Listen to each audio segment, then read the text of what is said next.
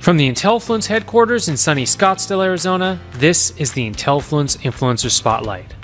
In each episode, we sit down with an influencer from our network and we discuss their background as well as their unique approach to influencer marketing. Urszula Makowska is a fashion blogger, actress, and social media influencer who was born and raised in the heart of New York City. As an actress, she is best known for her role on MTV's show Catfish. Urszula is currently working as a merchandiser for full beauty brands and is working on her blogging career. Her fashion blog, Urszulala, launched in 2012, and she has since partnered with high profile brands such as Aveda, Christian Dior, Cartier, and Estee Lauder, to name a few.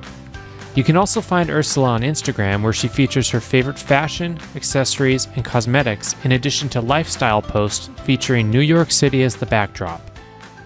So, yeah, Uh, let's get started. So, you're a successful fashion blogger, stylist, and actress. Can you tell us a little bit about your background, including how and when you became an influencer? Yeah, so I started, well, I first became an influencer when I first started blogging, which was six years ago. Well, actually, now it's going to be seven years ago. So it was in the beginning when I first started college and I studied fashion, and I was like, hey, I want to see what it's like to transition throughout the years, right? And I just started like sharing my outfits and everything. And then all of a sudden, just like one day, like it just came that boom, I got a partnership with Nylon Magazine, like one of my first partnerships. And then that's where it kind of just started growing. So, like, really working with them, that's how I became an influencer on Instagram. We're really growing from there. And then eventually I ended up on a reality TV show. So that really helped me get become an influencer with my story. People became really inspired and really loved my style from there. Yeah. Very nice. That was that was catfish, right? Yeah. Yep, yep. Looked, that's awesome. We, we were going to make a joke about to catch a predator and decided probably not appropriate to do. But but but speaking of jokes though, we did see in a publication that you were going to be doing a comedy channel on YouTube. So Yeah. I was hoping maybe you could tell us a joke, perhaps with a punchline about YouTube's monetization for creators. Oh man, that's gonna be a hard one. I can't. I can't. I, Uh, put you on the spot. I wish I could. You're putting me on the spot. I wish I could, but I don't have anything right now. You can send it to us after the weekend. no, no, but like, tell us about the channel though. Like, uh, what, what, what's the concept behind the comedy channel you want to do? So what I want to do is so you know, as being an influencer, like there's things that there's habits we have, there's things we do. And you know, we I've noticed it amongst myself and amongst other influencers as well and bloggers. So my idea is to like it's okay for me to do it to make fun of influencers. That's what I want to do. Okay.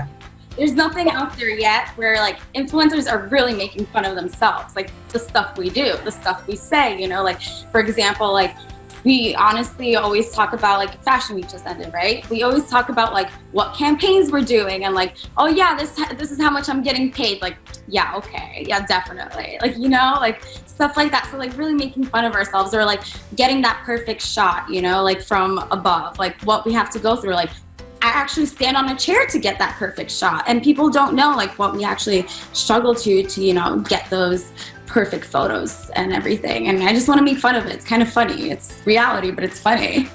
That's actually really innovative. Yeah, the self-deprecation. That's Yeah. that's yeah. I'm, I'm looking forward to that. As an influencer, what type of content do you find uh, most resonates with your audience?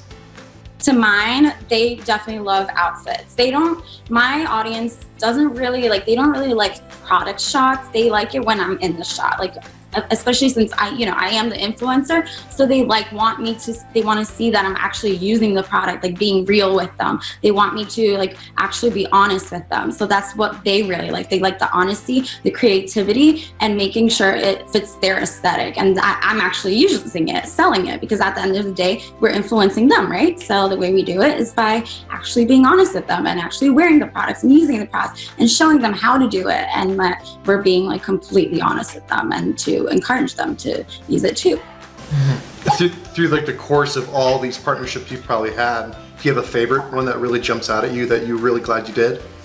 Oh my God, yes, all the time. Aveda. I've been working with Aveda for a year and a half now. They are the best company. I've like I have a really good relationship with them and I love everyone on the team. I've been going there for a year and a half and I really do believe in them and I support them 100% and I literally will not go get my hair done anywhere else. Like I'm really committed to Aveda. Like I will not. I will not. I refuse to. I like love them so much. That's loyalty. Yeah, I'm loyal to them and they're loyal to me. Like I love them and I I definitely don't lie about getting my hair done there. They're like they do a really good job. That's great. That's awesome. So the flip side of that question that I always like to ask, because we've had a vast array of answers all over the map on this. So what is the strangest influencer request you've ever received? Because undoubtedly there's going to be the odd request where they haven't really done their research and they're pitching you something that's completely off the wall. I'll tell you right now, I keep getting emails about a Zen garden and I don't know what a Zen garden even is. So um, I don't think that really fits my audience. If I don't even know what it is, then obviously I'm not interested. And I think that's like the most randomest thing ever. So I, I don't even know what that is. Like, how do you promote what the Zen garden? Like, what is that even?